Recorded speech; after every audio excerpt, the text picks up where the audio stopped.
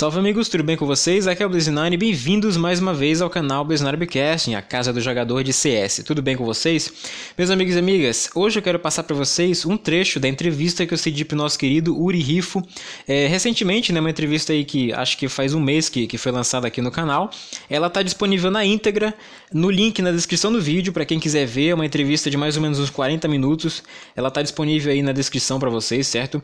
E, se eu não me engano, teve umas 12 perguntas, né? Nessa entrevista. E esse vídeo que eu vou passar para vocês hoje é a resposta que eu dei para uma dessas perguntas, que foi a pergunta que o Rifo me fez sobre como eu comecei a jogar CS. E eu basicamente contei a história de como eu comecei, né? Então eu imaginei que isso podia acabar se tornando uma boa história do Blaze9. E é isso que eu vou apresentar para vocês hoje. Se vocês já assistiram o vídeo da entrevista, então não vai interessar muito para vocês porque vocês já sabem o que eu vou falar aqui. Mas mesmo assim, se você veio aqui para poder é, ver uma coisa que você já viu antes, deixe o seu like e conte para seus amigos que ainda não assistiram, tá bom? Porque vai ser bem legal. Muita gente me pergunta isso, então eu vou responder hoje aí através da resposta que já tinha dado na entrevista. Mas antes de eu começar, queria falar duas coisinhas para vocês. Primeira, verifiquem a inscrição de vocês no canal, porque eu tô sabendo que tem gente aí que o YouTube parece que tá retirando as inscrições ou então desligando o sininho. Então verifique aí se você tá com tá inscrito no canal e se você está com o sininho ativado como deveria estar, tá OK? É, e a segunda coisa, nós temos o nosso Apoia-se. É lá que ficam guardadas as artes dos inscritos que o pessoal manda para cá, pro, pro canal Casting. E também é o lugar onde você pode fazer doações financeiras para o canal Casting para poder melhorar nossos equipamentos, tá, tá, ok? Vocês podem pagar com boleto e a gente aceita doações a partir de um real.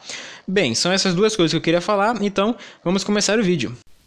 Blaze, quando e como foi que você começou a jogar o Counter-Strike 1.6? Explica pra gente. Caramba, faz muito tempo, viu? Eu jogo esse jogo aqui já tem bastante tempo. O 1.6 eu comecei a jogar até meio que recentemente. O 1.6. Eu, comecei a jogar mesmo o CS foi no 1.1. Lá no bairro do Guamá, aqui em Belém do Pará, que nós tínhamos um computador. Isso foi em que ano? 2002? 2003? Alguma coisa assim. Eu, eu, eu acho que em alguma coisa mais ou menos nesses anos, né? Eu tinha uns 8 anos de idade. Nós tínhamos um computador em casa e, e, inclusive a gente era uma, era uma das únicas famílias naquele bairro, naquela rua que a gente morava. No bairro não, mas na rua que a gente morava que tinha computador em casa. E, e o meu irmão instalou o CS 1.1 no computador, né? E, eu, e teve um dia que eu vi ele jogando. E eu fiquei assim espantado porque eu nunca tinha visto um jogo como aquele. É importante você, você lembrar de uma coisa, Rifo. 2001, 2002 é, foi a época que lançou mais ou menos o PlayStation 2, tá? Nós tínhamos em casa o computador e tínhamos também o, o meu PlayStation 1 que eu jogava na época. E se você for comparar os jogos de PlayStation 1 que eu jogava na época, que a maioria eram jogos de plataforma, certo? Com o Counter-Strike era uma coisa jamais vista, cara. O Half-Life em si, quando ele saiu em 99, foi um negócio jamais visto, certo? Aliás, Half-Life 98, perdão. E quando o CS foi inicialmente lançado em, em 99, foi uma coisa que ninguém nunca tinha visto. Então você imagina a minha cara, que eu nunca tinha visto, eu era criança, tá? Jamais tinha visto um negócio parecido com aquele. Eu me espantei, eu fiquei. eu, eu, eu te digo o seguinte: eu peguei uma cadeira Peguei uma cadeira e sentei do lado do meu irmão para ficar vendo ele jogando aquele jogo que eu nunca tinha visto na vida. Até que teve um dia que eu é, é, pedi para ele me ensinar a jogar. Certo? Eu tinha isso, eu criança, eu tinha 8, 9 anos de idade, alguma coisa assim. Cheguei lá e pedi para ele me ensinar a jogar. E ele me ensinou. Só que não me ensinou com um videozinho no YouTube, porque não tinha isso na época, né? Na época era tapa na orelha, era é, conselho de familiar, conselho de amigos da, da, da Lan House, conselho de amigos que vinham na sua casa, alguma coisa assim. E o que, que ele fez? Eu sentei lá na cadeira do para poder para poder é, jogar e eu comecei a mexer nas setinhas, entendeu? Tipo para andar. Comecei a mexer nas setinhas lá, porque eu pensava que era assim que se jogava. Aí ele chamou minha atenção e falou: Não, não é assim que se joga, não. Você pega a sua mão esquerda, você põe aqui em cima do W, coloca o seu, o seu dedo médio em cima do W. Aí eu coloquei. E depois ele falou: E pega a sua mão direita e, e, e segura o mouse assim. Aí ele me mostrou até o jeito como segurava o mouse. Ó, tá vendo que quando você aperta o W ele vai para frente e o S ele vai para trás. E o mouse você vai mudar a direção. Não usa setinha. Ele me ensinou isso tudo. E ele me ensinou também a comprar arma pelos números, né? Pelo, pelo B e a numeração, ao invés de usar setinha. Quando eu, eu, eu, porque eu não entendia na época a mecânica de se comprar arma, né? Nunca tinha jogado um jogo como esse.